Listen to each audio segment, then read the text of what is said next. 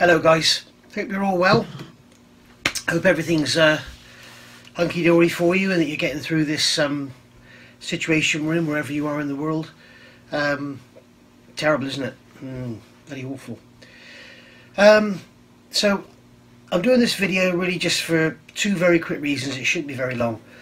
One is Titanic bulkheads are now in production, as it were. You can see you've got some here, you can see them stacked up, and as you can see here, there's some in the moulds, and I've got two practically empty resin containers. That's all I've got left, and I've just checked on the website where I get my resin from, and it's all depending on whether DPD still delivers. So today being Saturday, the was it 28th of um, of March 2020, I will check on Monday and see what the situation is, and we'll go from there.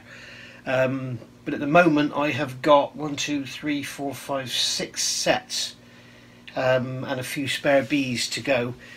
There is a list of names which I put down first come, first served, and only a couple of you have been in touch. That's why I'm doing this email, really. Um, CatScan64, Gary Flowers, Bobby McCauley, and Roger Clark. You are basically top of the list. Um, and then we've got Barry Clark and Cliff Hoetzer. Uh, so there's, I can probably fulfill those orders, I think.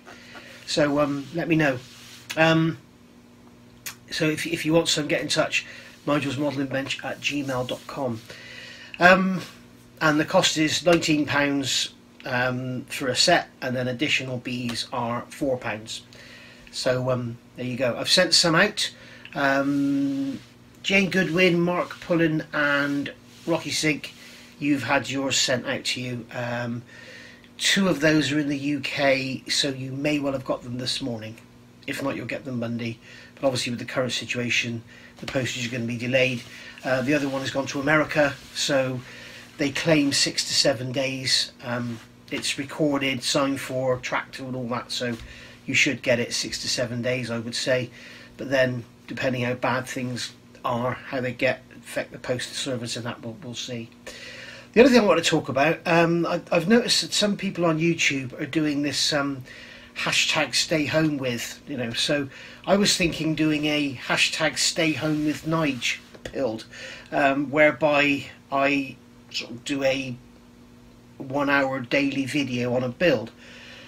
And I was thinking to keep this interesting for sort of, you know, everyone and not have me sat there finically sort of, you know, cleaning up little tiny plastic parts and stuff. I was wondering if you guys be interested in me doing a like something like a 16th scale radio controlled tank. I've got four. I've got three unbuilt. Um, there's the, there's the Sherman and the Pershing. I would probably prefer to do the Sherman, to be honest. Um, so let me know what you think. I mean, I, I could do sort of half an hour to an hour every day and sort of put the camera on and run. You know, rather than you know keep jumping out of little parts and stuff. Just if you've seen my other channel, Nigel's Land Rover channel, I'm doing a video build on there of a, um, a Land Rover CC01, and I basically just put the camera on, let it run for 30 to 40 minutes, and you see everything, and it's sort of based at all levels, so you know the person who's never built a radio control model before can follow it. It might be something that will just you know maybe maybe you get a, a, an hour slot every day where you're dead bored and there's nothing on TV you want to watch.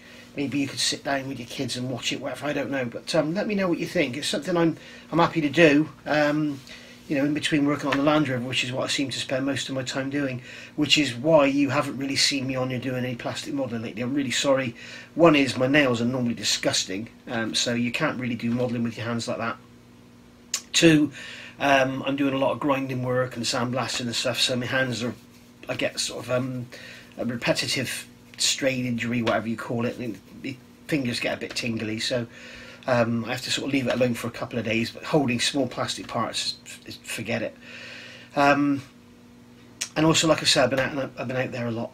So let me know what you think. If you'd like to see a, a build of um, a radio controlled Tamiya kit from start to finish and you know camera on all the time, sort of nothing done off camera other than perhaps a little bit of painting or spraying, should I say, um, then let me know. Uh, but yeah, these Titanic bulkheads, there's six sets here, a few extra bees.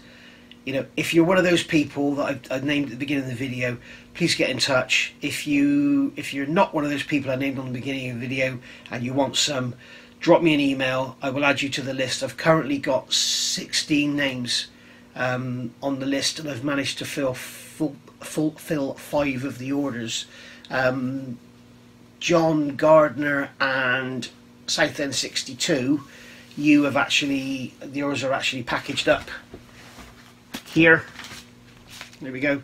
Yours are packaged up, ready to go. So they'll go out to you on Monday. And uh, that's basically it, really. So um, let me know what you think about the radio control build, and I'll see you all soon. Stay safe, um, stay in, stay out of the crowds, and just, you know, do what the government's asking us to do, and and we should, we will get through this uh, eventually. It's bloody awful, terrible situation. I'll see you all soon, guys.